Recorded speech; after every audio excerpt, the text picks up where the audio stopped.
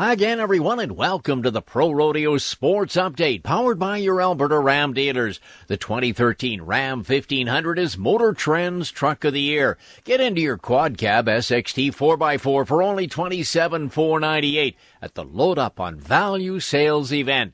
A midday rainstorm played havoc with the Calgary Stampede's infield, and that made for some treacherous runs in the timed events and some crazy rides and even re-rides in the rough stock action. And lots of pressure on the Cowboys as it was the last day of the A pool section and the last chance to try and qualify for Sunday's championship round.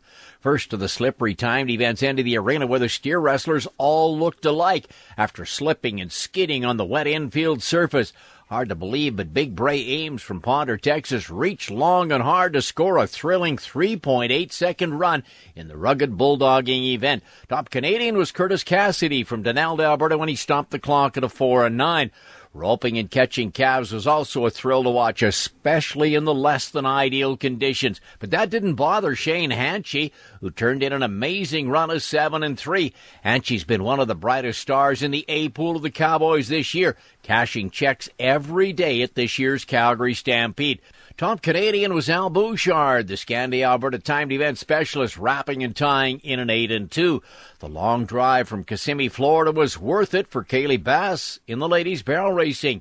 Bass led the way in the muddy infield Monday afternoon as she turned the cloverleaf pattern in a sizzling time of 1744.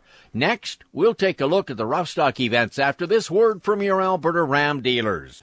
Ram 1500 is in a class all its own with best in class fuel economy and a class exclusive 8 speed transmission. It was even named 2013 Motor Trend Truck of the Year. So, to everyone else who didn't get there, class dismissed. Get an all new 2013 Ram 1500 SXT 4x4 for less than 26000 See dealer for details. That's glory. Ram. Cole Elshere from Faith, South Dakota covered the Calgary Stampede's Pagan Warrior for the top score in the Saddle Bronc section yesterday. Elshier managed a good-looking 86 in the mud. Meanwhile, the trip from Lubbock, Texas paid off for eight times NFR qualifier Wes Stevenson.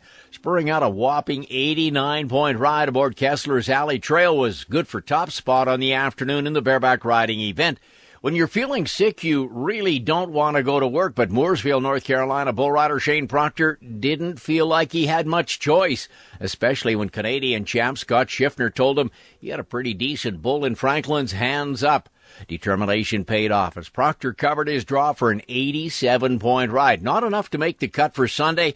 Proctor, like 11 other bull riders, will be back to try again on Wild Card Saturday. Round five goes this afternoon and it kicks off the B pool of the rodeo contestants. For your Alberta Ram dealers, now featuring the 2013 Ram 1500 in all of their showrooms. I'm Arnie Jackson for the Rodeo Country Radio Network.